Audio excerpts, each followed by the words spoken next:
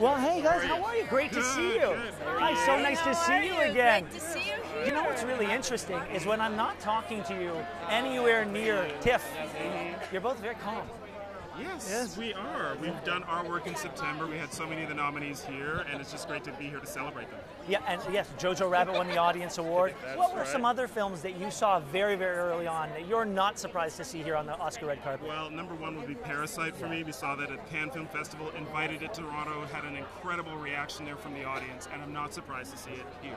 Yeah, and it's so great to see people that we honored at the tribute gala, like Joaquin Phoenix and Roger Deakins being honored tonight. So many of the films that were a TIFF, so really exciting to And be here. a lot of Canadians nominated tonight as well, from Dean DeBlois from How to Train Your Dragon, uh, and uh, David Giammarco for sound mixing for Ford versus Ferrari, and so many others. It's a, it's a, a, a Canadian talent runs deep in this industry. And there's a great next generation coming as well. Three Canadian short films nominated across the shorts category, so I'm really glad to see that too. Absolutely, and I'm so glad to talk to uh, Matthew A. Cherry from Hair Love. That's one of my favorite stories yeah. of the year. Incredible story, yeah. What about your Hair Love?